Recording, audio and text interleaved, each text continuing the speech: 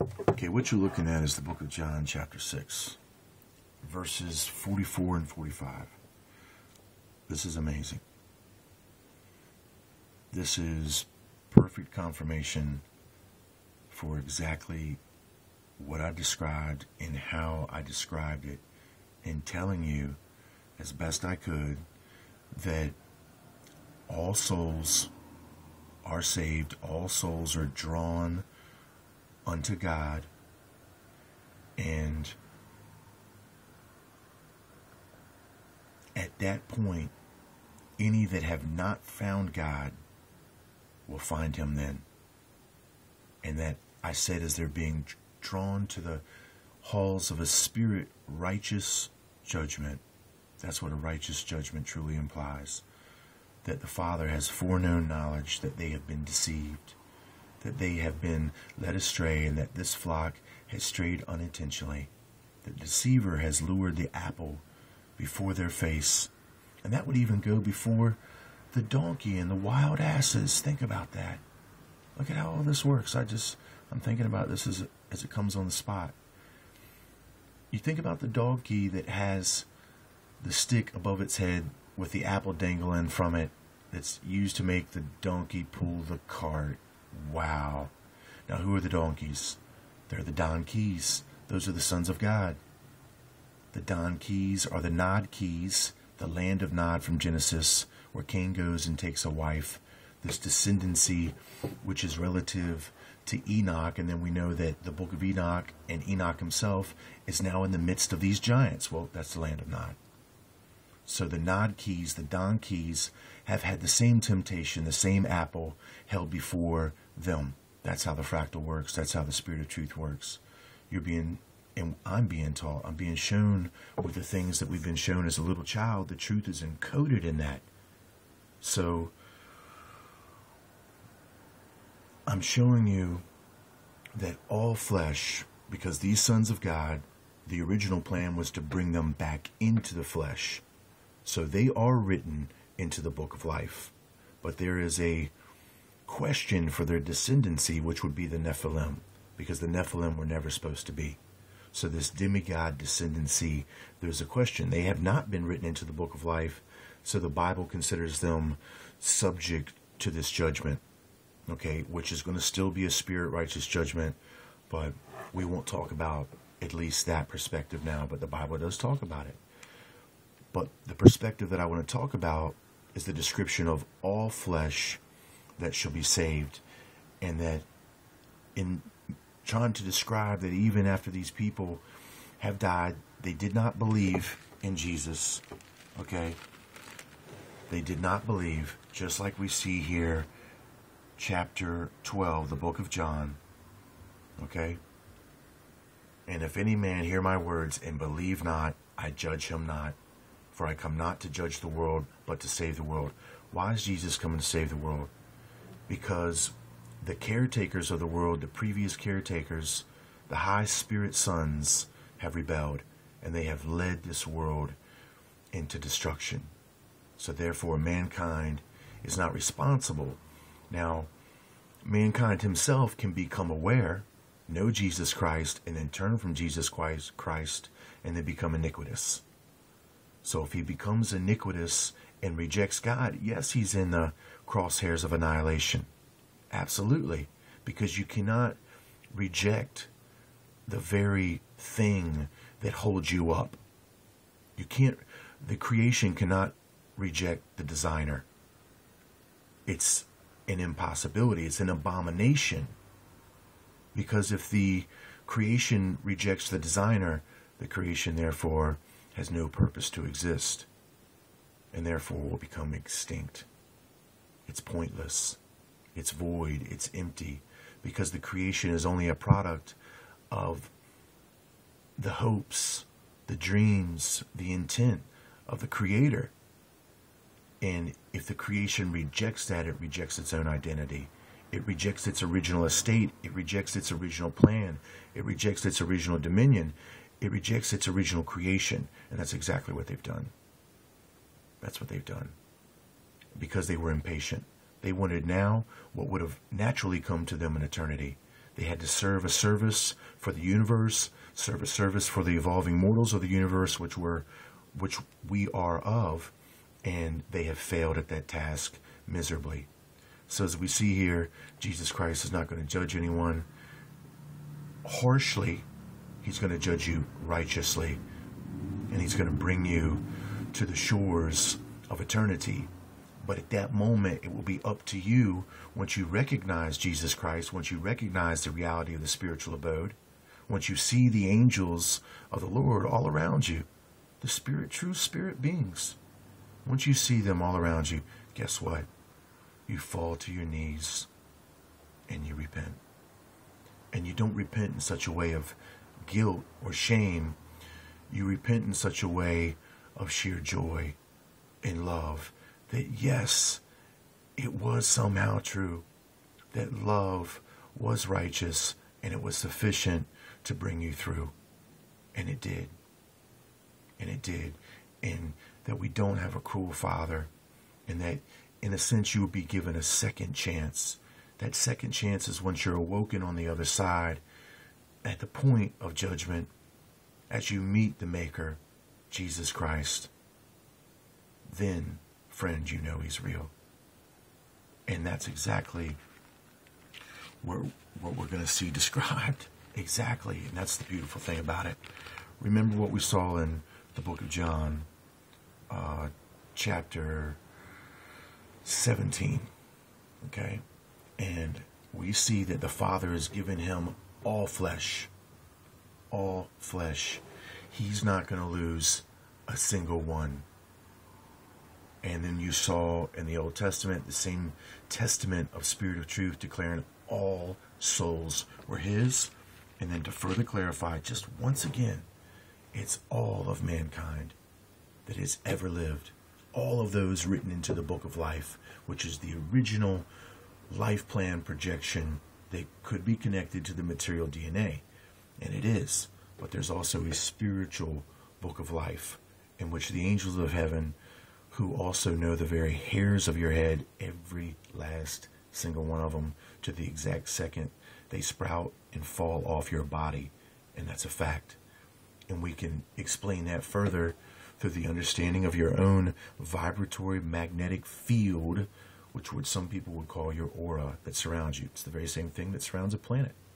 There's a, in a sense, a, uh, for lack of a better term, a mild energy discharge, an unseen energy field, an unseen energy equation, which is surrounding your vessel. And that's known as an aura.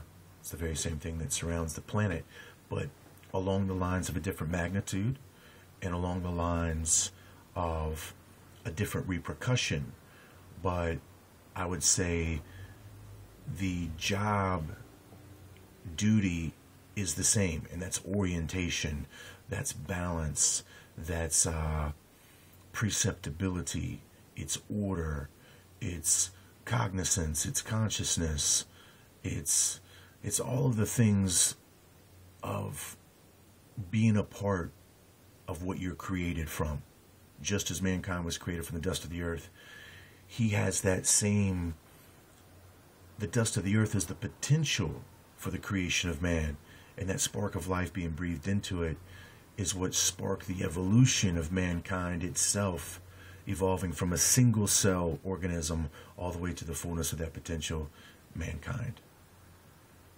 And that's why it says, Let the earth bring forth every animal after his kind. And then you see that when it comes to the creation of man, it's the same thing. It's the earth that brings it forth, the dust of the earth, but yet the spark is supplied by the Spirit. And we would recognize that spark as the seal, which is also recognized as the Holy Ghost in the Bible.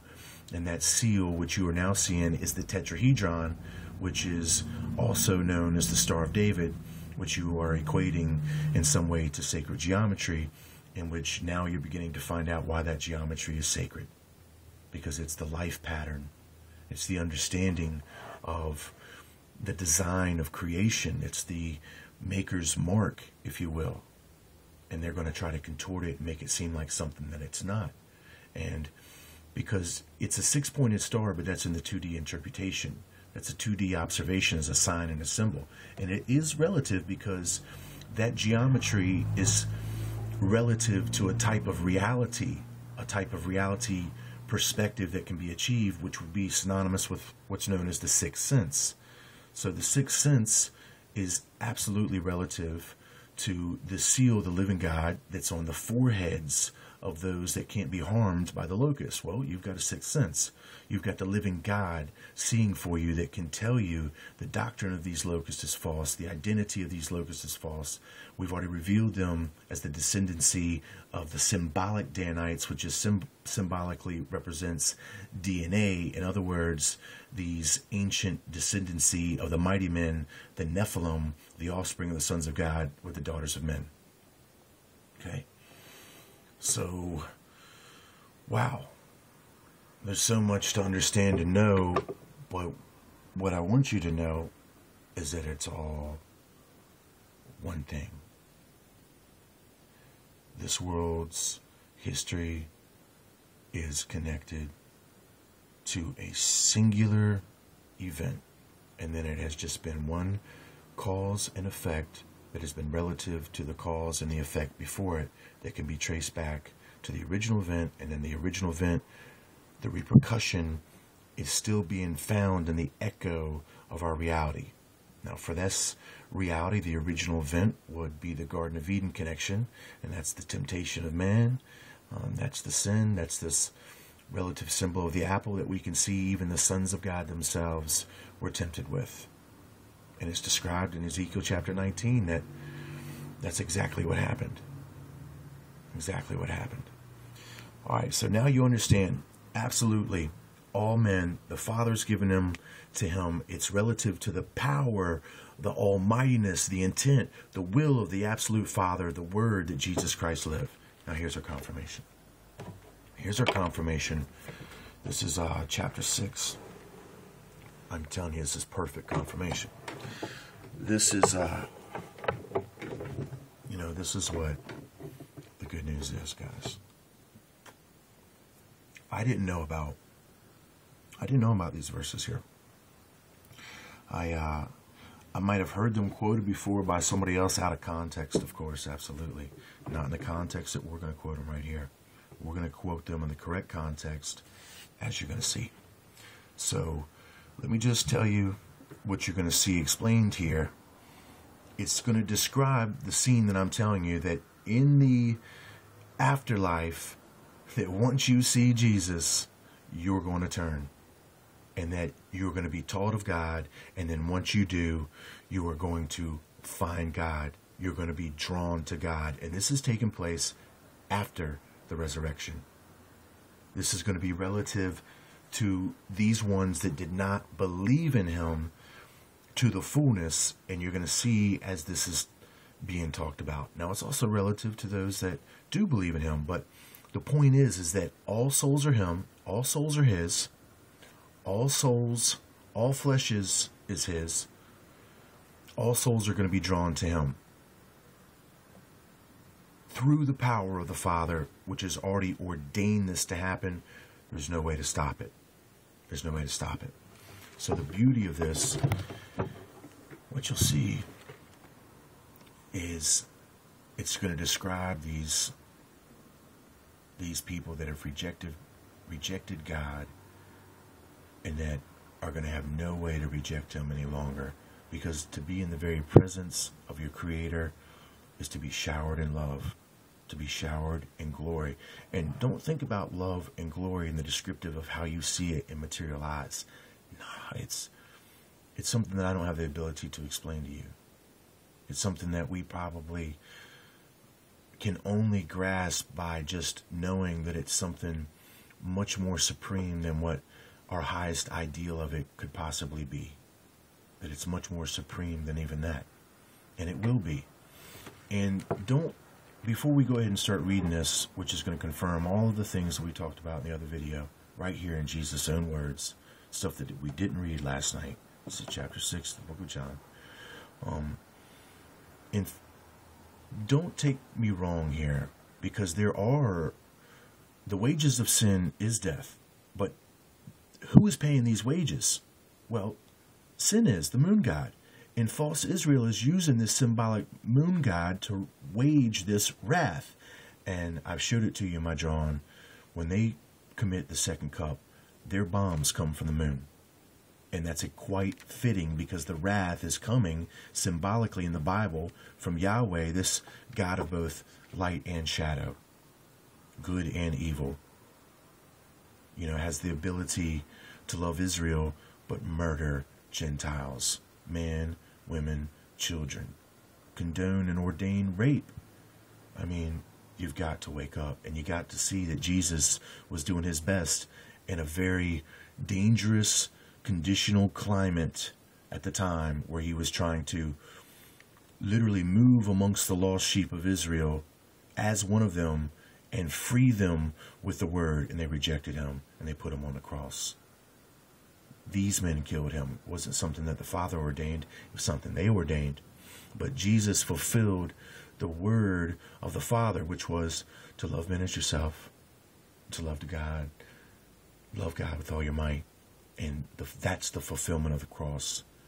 As I, and we all know Jesus obliged. He obliged for the will of those to be able to live, that we're going to be able to proclaim the gospel as a result of them finally capturing Jesus.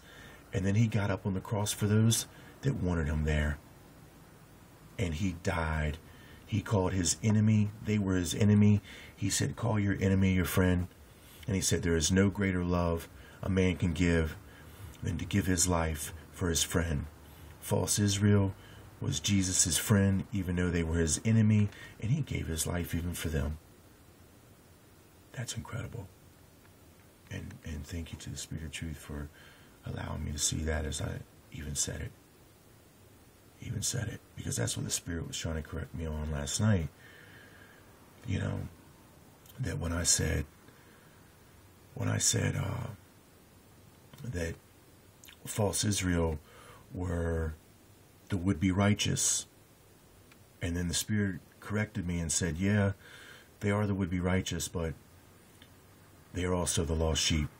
And since then, I've found the words of Jesus saying, Go unto the lost sheep of Israel. You can look that right up in your Strong's Concordance. Go unto the lost sheep of Israel. And that's exactly what Jesus did. He fulfilled himself within the lost sheep of Israel. Incredible. Incredible. So they were the would be righteous. Um, but at the same time, they try to make him the would be righteous. And that's what I was trying to say the other night that they they saw Jesus as a militant redeemer that would be born from the descendancy of David. And you can even see Jesus Christ question them that how if I'm born of the descendancy of David does David call me Lord? Because they want to put David before Jesus and only claim the descendancy that Jesus has is by the might of David and the forefathers before him, their own lineage. Jesus is saying, nah. He's saying the might that I have is of the Father. Anyway, I hope you've read this right here and understand so far what it means. I'll be right back.